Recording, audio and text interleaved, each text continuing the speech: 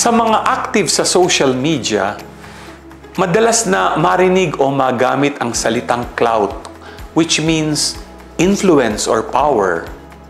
And now, higit na nagagamit as a general slang term for popularity and being cool. Kaya maraming gumagawa ng kakaibang gimmick to gain clout, lalo na sa social media. Sa gospel natin for today, na kay Juan Bautista ang spotlight.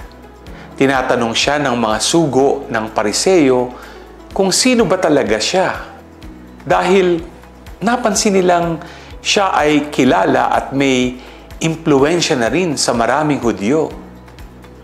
Chance na sana ni Juan Bautista to keep that clout for himself at magkaroon ng maraming alagad.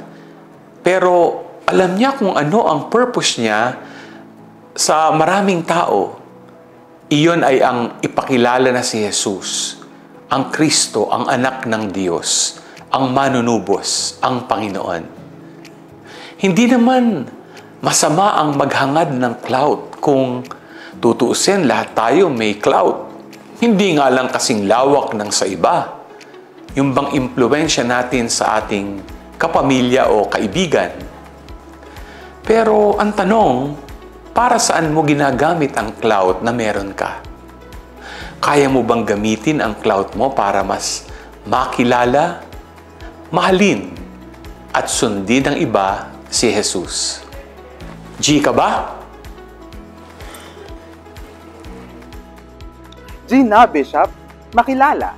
Sa makabagong henerasyong ito, ang karamihan ay nahuhumaling sa social media at isa rin ako sa gumagamit nito. Pero kaysa gamitin ang social media sa di makabuluhang content, ako ay gumawa ng isang FB page na I am Catholic upang maipalaganap at makilala si Kristo sa mga posts ukol sa kanyang simbahan at ang kanyang salita. Naway sa parang ito ma-influence din ang mga kabataan na ipahayag ang pananampalataya at relasyon sa Diyos. Gusto ko rin ibahagi ang mga istorya ng mga santo upang tularan ang mga naging buhay nila isa rin akong aktibong miyembro ng Catholic Charismatic Renewal kung saan na ibabahagi ang mga simpleng answered prayers na lalo napapakilala sa verbong nagkatawang tao.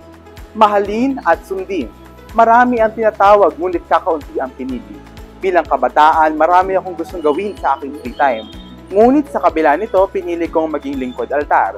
Nais kong ipakita ang pagmamahal kay Kristo at maging ehemplo rin sa kabataan pagmamahal sa magulang, mabuting mag-aaral, at tapat na kristyanong pamumuhay, iyan ang tunay na pagmamahal at pagsunod sa Kanya.